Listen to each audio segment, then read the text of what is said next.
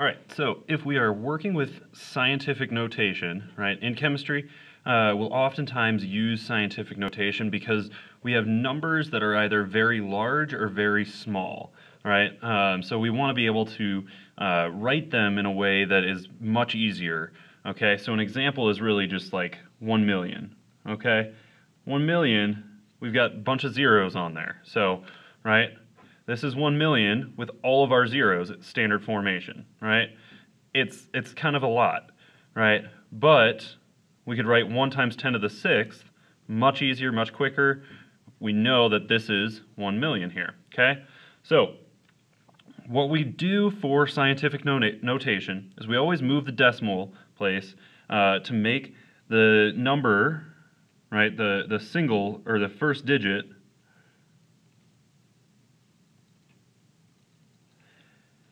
be between 1 and 9.999999999. All we, we go all the way up. We don't want two digits ahead of the decimal place, right? We only want a single digit uh, before the decimal place, right? So we don't want to go to 10, but we can go to 9 point however many uh, nines are afterwards, okay? So then we are going to rearrange the decimal right, the number up to the right of it, uh, and use an exponent. Okay?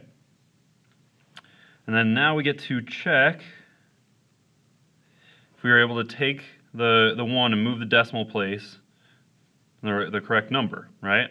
So if I have my decimal here, right, with our million, you, we can count 1, 2, three, four, five, six times over to the left. And now I only have one number before the decimal place. So I would write it as 1.0, right, times 10 to how, however many times I moved that decimal place. I moved it six times to the left, so it's 1 times 10 to the sixth. Okay, so let's go through this example here as well. Right, my decimal place is here. I got to move it all the way over, right? So one, two, three, four, five, six, seven, eight, nine. I've got 123. I still got to keep going. 10, 11. Now I have only one digit before the decimal place. So this is going to be 1.23 times 10 to the 11th. Okay? So let's go through some more guided practice here. Okay, so three, four zeros, too many zeros, I don't even know. Let me go through, I'm going to start where my decimal is, right, and I'm going to count one, two, three, four, five, six, seven, right? I move it seven times and I've got one decimal place before, or one digit before the decimal place. So I'll do 3.4 times 10 to the seventh. Okay? Now, I've got a number that's smaller than 1, so I need to make it bigger. So now I need to move my decimal place. Let's count. 1, 2, 3, 4, 5, 6 times. So I'm going to do 6.7 times 10 to the negative sixth, right? If I move my decimal place to the right here, to, to, to get it into scientific notation, right? I'm moving it to the right. I need to do a negative number. So a big uh, check for us is to say, if I want a number larger than 1, my exponent should be positive. If I want a number smaller than 1, right, we're going to go decimal places, then I'm going to have a negative number, okay? 25,864 this one, one, two, three, four, 2.5864 times 10 to the fourth, right? I moved it four times, so I only have one digit before the decimal. Let me make sure that I can we can see that decimal. This one really is not any more convenient because we, we don't have any zeros that we're getting rid of. That's okay. All right, now let's go from our scientific notation to our kind of normal standard notation. 5.7 times 10 to the 8th. What I'm going to do, I've got a positive number, so I'm going to put my 5 and my 7 on there first.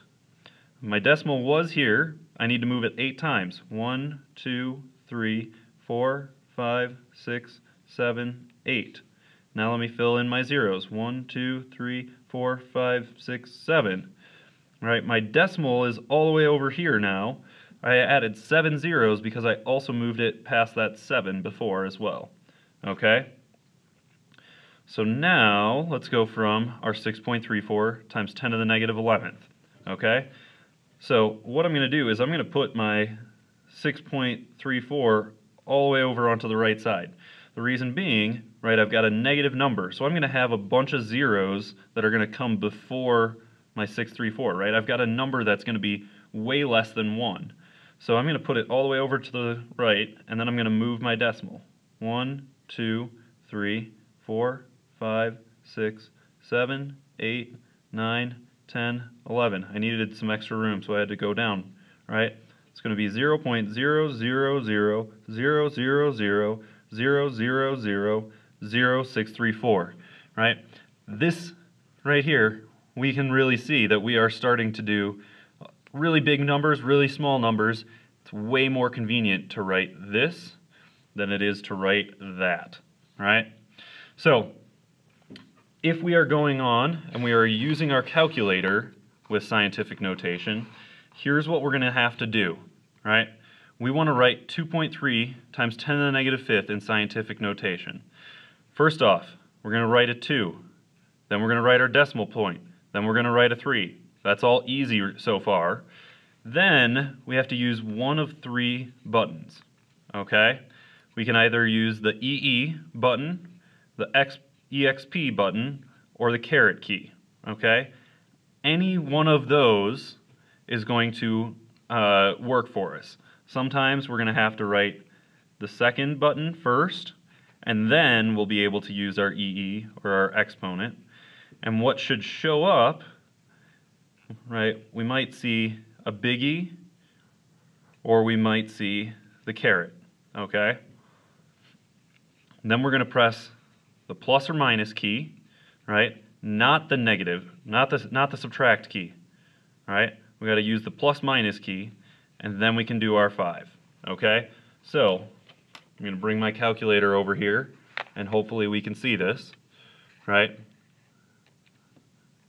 I'm going to do 2 point, whoops, 2.3, and then I'm going to go up here, I got to press my second to get my EE, right? So if we see on here, we see that EE just above uh, this.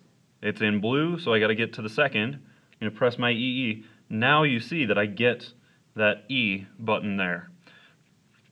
Now I want to do plus minus key, which is down here, right? This is going to let me go negative, not, I do not use that subtract key. And then I want to do negative fifth.